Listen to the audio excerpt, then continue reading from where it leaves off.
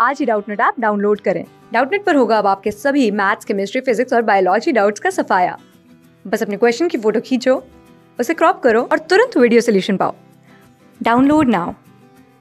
Hello, everyone. So, the question is, the quality of autocratic teaching strategy in mathematics is. ठीक है, अगर हम mathematics में autocratic teaching strategy या method use कर रहे हैं तो इसका मतलब क्या है? वो हमें बताना है। ठीक है, चार ऑप्शंस आपको दे रखे हैं। तो सबसे पहले तो आपको पता होना चाहिए कि ऑटो ट्रैक ऑटोक्रेटिक टीचिंग होती क्या है।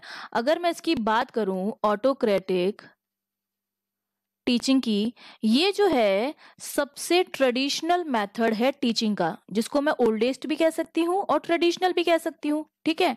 ट्रेडिशनल मेथड है मतलब काफ़ी टाइम से यही मेथड जो है यूज़ हो रहा है टीचिंग के लिए, ये जो है वो ट्रेडिशनल मेथड है।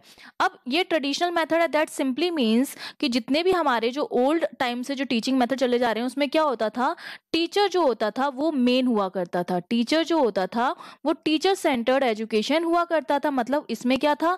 करिकुलम भी टीचर डिसाइड करेगा मेथड भी टीचर डिसाइड करेगा, उस सब्जेक्ट को या उस सिलेबस को या उस टॉपिक को किस मेथड से पढ़ाना है, कब पढ़ाना है, कैसे पढ़ाना है, वो सारा क्या है? टीचर ही डिसाइड करता था। टीचर सेंटर्ड मेथड है ये टीचिंग स्ट्रेटजी इसमें क्या होता है कि टीचर ही मटेरियल चूज़ करता है। चूजिंग मटेरियल अब इस मटेरियल में कोई टॉपिक हो जाएगा, कोई सब्जेक्ट हो जाएगा, और वही डिसाइड करता है कि हमें वो मटेरियल कैसे how present in front of student मतलब इसमें स्टूडेंट्स का कोई रोल नहीं होता है. No role of students students का रोल केवल इतना होता है नो रोल ऑफ़ स्टूडेंट्स कि उन्हें टीचर को क्या करना है, सुनना है, समझना है, और अडॉप्ट करना है। ठीक है, इसमें टीचर स्टूडेंट्स का कोई, जैसे आजकल की जो मॉडर्न एजुकेशन की बात करें तो मॉडर्न एजुकेशन जो होती है स्टूडेंट सेंटर्ड होती है, जिसमें स्टूडेंट्स ही अपने लेसन प्लान डिसाइड करते हैं एक्टिविटीज़ में पार्टिसिपेट करते हैं ग्रुप डिस्कशन करते हैं, ठीक है? मतलब एक्टिव रहते हैं। लेकिन इसमें क्या होते हैं स्टूडेंट जो होते हैं पैसिव मोड में होते हैं। एक्टिव मोड में ना होकर पैसिव मोड में होते हैं। इसमें स्टूडेंट्स का रोल ज़्यादा नहीं होता है टीचर सेंटर्ड होता है ये। तो हम देख लेते हैं ऑप्शन हमारे। पहला है टीचर ओरिएंट ओरिएंटेशनेस तो ये बिल्कुल करेक्ट इसका मतलब है टीचर का जो होता है, वो मेन रोल होता है। तो ये बिल्कुल करेक्ट है, जो मेन रोल होता है, वो किसका होता है टीचर का ही होता है। टीचर ओरिएंटेड होती है ये पढ़ाई तो ये बिल्कुल करेक्ट है।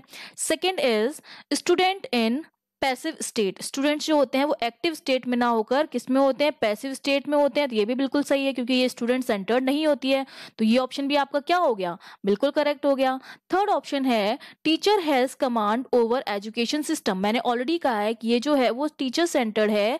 दैट सिंपली मीन्स कि पूरे एजुकेशन सिस्टम पर टीचर का ही कमांड है। तो ये ऑप्शन भी बिल्कुल क्या हो गया? सही हो गया। तो हमारा लास्ट ऑप्शन दे रखा है ऑल ऑफ़ द अवॉव तो हमारे तीनों ऑप्शन सही है तो हमारा लास्ट ऑप्शन क्या हो जाएगा? सही हो जाएगा all of the above okay thank you class six से ट्वेल्थ से लेके NEET I I T JEE mains और एडवांस के लेवल तक। दस मिलियन से ज़्यादा स्टूडेंट्स का भरोसा। आज ही डाउनलोड करें डाउट नेट आप या व्हाट्सअप कीजिए अपने डाउट्स आठ चार सौ चार सौ चार सौ पर।